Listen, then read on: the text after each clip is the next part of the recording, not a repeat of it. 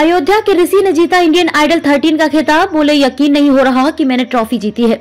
ग्यारह दिन पहले रामलला हनुमानगढ़ी में लिया था आशीर्वाद। इंडियन आइडल सीज़न 13 का खिताब अयोध्या के ऋषि सिंह ने जीत लिया है। उन्हें प्राइज मनी के रूप में 25 लाख रुपए और एक कार मिली है। ऋषि की इस कामयाबी पर अयोध्या में आधी रात को लोग सड़क पर आ गए। जिंदाबाद किनारे लगने लगे। ऋषि ने ग्यारह दिन पहले रामलला और हनुमानगढ़ी में दर्शन करने अयोध्या आए थे। फिनाले की रेस में छह फाइनलिस्ट आए थे और 2 अप्रैल को सोनी चैनल पर प्रसारित होने वाले शो इंडियन आइडल 13 का ग्रैंड फिनाले था। फिनाले की इस रेस में छह फाइनलिस्ट आए थे। इसमें ऋषि सिंह, शिवम सिंह, विदिप्ता चक्रवर्ती, चिराग कोतवाल, देबोस्मिता रॉय और सोनाक्षी करथी शो में कई परफॉर्मेंस हुई। बतौर जज सोनाली बेंद्रे, गीता कपूर और टेरेंस लुइस भी आए थे। आखिर में विनर के रूप में ऋषि सिंह का नाम अनाउंस किया गया। मंदिरों में गाते थे ऋषि सिंह।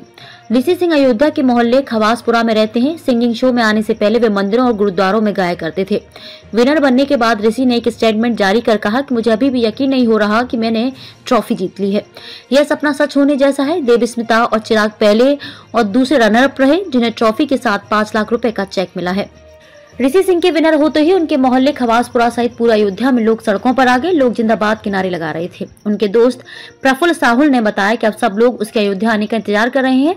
अभी भी वह मुंबई में है, उससे अभी बात नहीं हो पा रही है।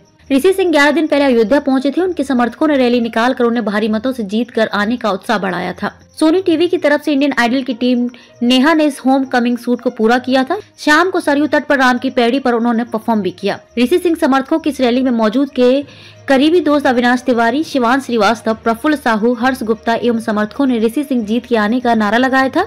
राम की पैड़ी सरयू तट पर आशीर्वाद लिया और फिर ऋषि सिंह के फैंस ने रामलला के दर्शन किए। इसके बाद ऋषि सिंह उसके बाद अपने घर आशीर्वाद लेने के लिए पहुँचे थे।